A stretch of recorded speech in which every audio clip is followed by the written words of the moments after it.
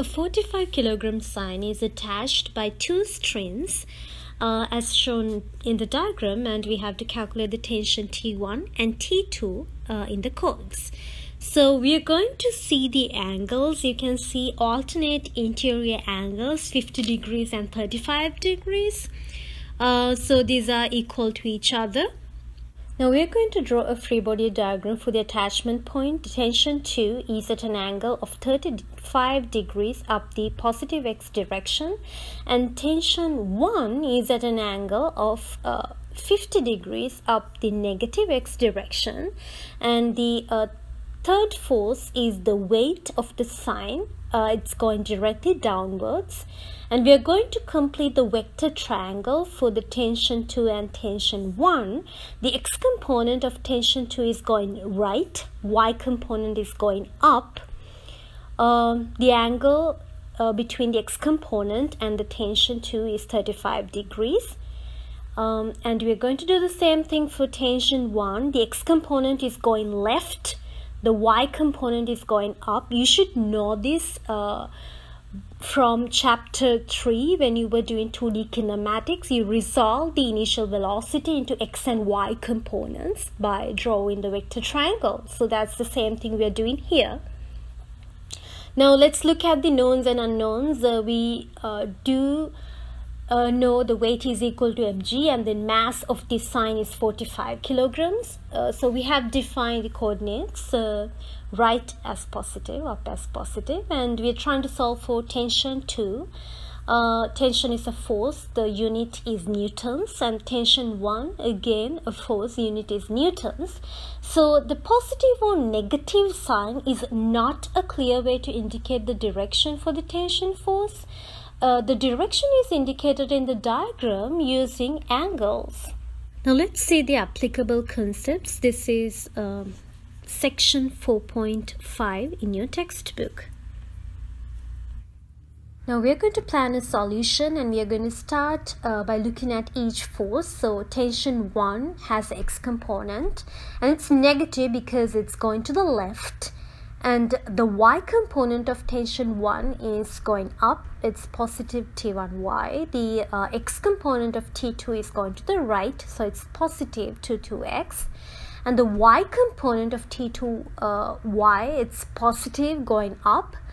The weight does not have any x component. The y component is negative because it's going directly downwards.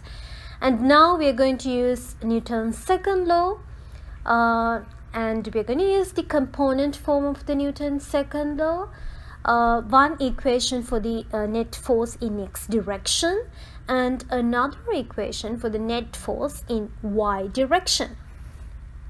Now I'm going to look at the net force in x direction um, and acceleration in x direction is zero because the system is stationary, it's not moving. And um, if you look at the chart, you can see uh, the x components, the negative t1x and positive t2x. Uh, so that's equal to 0. t2x minus t1x is equal to 0. And I'm going to express t2x and t1x in terms of cosine of the angle. t2x is t2 cosine 35, t1x is t1 cosine 50 and uh, I used the knowledge on trigonometry to get an expression for t2x and t1x in terms of cosine because t1x and t2x are on the adjacent of the vector triangle. Uh, now let's uh, solve for t2 in terms of t1, t1 cosine 50 uh, divided by cosine 35 is equal to T2. Now, uh, I'm going to uh, use again the uh, Newton's second law, the uh, equation in y direction. And net force in y direction is equal to mass times acceleration in y and acceleration in y direction is zero. Again, for the same reason, the system is stationary, it's not moving. And I'm going to look at the little chart now and um, I have to consider uh, T1y, T2y and negative mg. So those are the components of uh, forces uh, in y direction. So if you add all those components, that's again equal to 0 because acceleration is 0.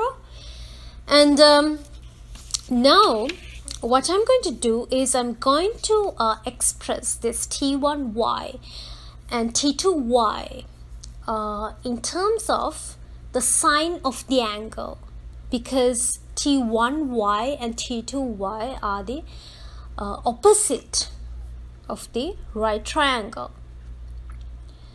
So now I'm going to substitute for uh, T2 in terms of T1 and T1 sine 50 uh, plus T2 is T1 cosine 50 divided by cosine 35 uh, times sine 35 do not forget sine 35 minus mg is equal to 0 and uh, that is T2 that's the substitution I did for T2 in terms of T1 now I have just one equation and one unknown. The unknown is tension 1 I'm going to factor out tension 1 and it's common for both terms. Um, when I factor out a T1 and that's what I get I'm going to uh, add mg to both sides of the equation. Now I have just mg on the right hand side if I divide both sides of the equation uh, by this uh, expression, I get tension 1 is equal to mg divided by sine 50 plus cosine 50 divided by cosine 35 times sine 35. So now you have to uh, solve for tension 1. When you put this uh, sine 50, cosine 50 into your calculators, guys, please make sure that your angle is in degrees, not in radians. Please check that in your calculator settings. And uh, then since I have uh, T1, I'm going to substitute for T1 in the equation for T2. That is just 365 363 newtons and I, when I do the substitution and after I uh, put these numbers into calculator I got 285 newtons for T2 and for T1 I have 363 newtons. Now I, is the solution complete? Yes. Is the sign of the answer correct? Yes. Correct units and then magnitude is reasonable we started the question by drawing a free body diagram and then we completed the vector triangle and looked at the x and y components. And we identified the unknowns and we completed this chart to identify the x and y components of each force and we used Newton's second law the component form for the x direction and y direction. You can see initially there were four unknowns but then it reduced down to two. Um, so that's it